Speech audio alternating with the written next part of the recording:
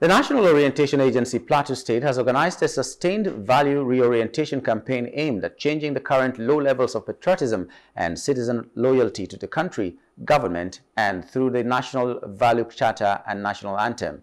The press conference held at the Federal Secretariat in Jos had the National Orientation Agency Director in Plateau State charging Nigerians to be more patriotic while honoring the new national anthem. I wish to express my heartfelt gratitude for your presence today as we gather to discuss an initiative of profound importance to our nation. That is the nationwide sensitization on the national anthem and the national values charter.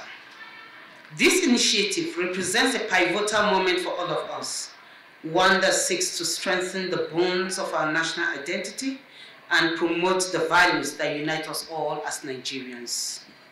The significance of this today is to let us begin by reflecting on our national anthem, composed as a powerful expression of our collective aspirations.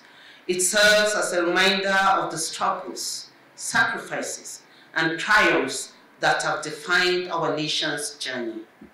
The anthem is not merely a song, it is a rallying cry that encapsulates our hopes for unity. Hello, hope you enjoyed the news. Please do subscribe to our YouTube channel and don't forget to hit the notification button so you get notified about fresh news updates.